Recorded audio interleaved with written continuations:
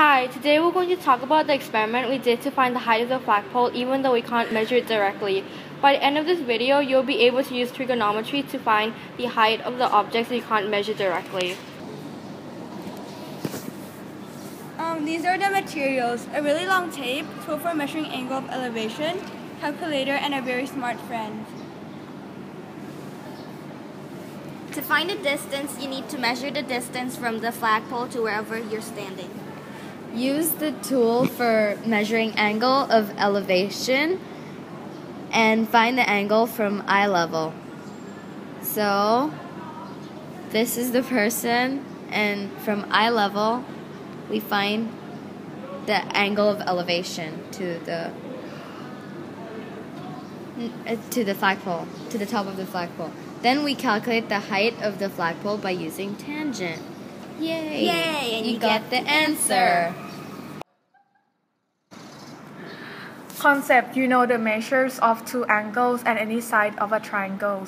You know the measures of two sides and angle opposite one of these sides of the triangles. To know the total height of the flagpole, you use the height of the flagpole plus the height of Mickey.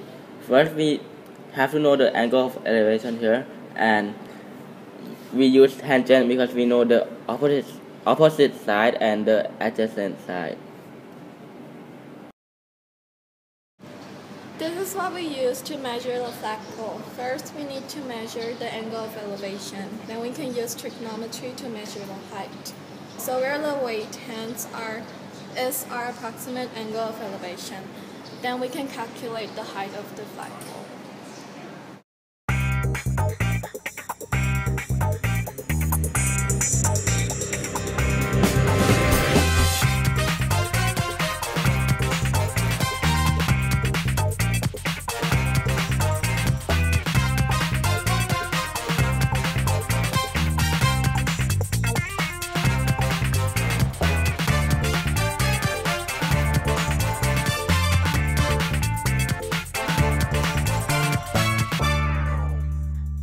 So to find out how tall the flagpole is, the first thing we did was to measure the distance between the flagpole and the person who's measuring the angle, and in this case we got 30 meters.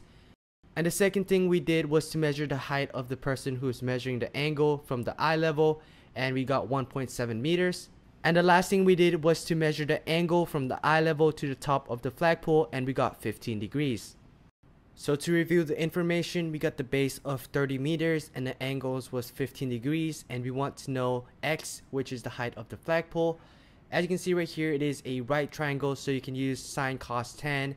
The side that we want to know is the opposite side from the angle and the side that we already know is the adjacent side from the angle. So in this case, we can use tan now let's bring our information back in and plug into our equation. So tan 15, the measurement of the angle, equal x, the opposite side, over 30, which is the adjacent side.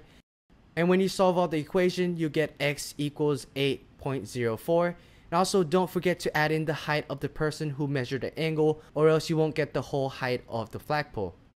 So just add 1.7 to 8.04 and you will get the height of the flagpole which is 9.74 meters.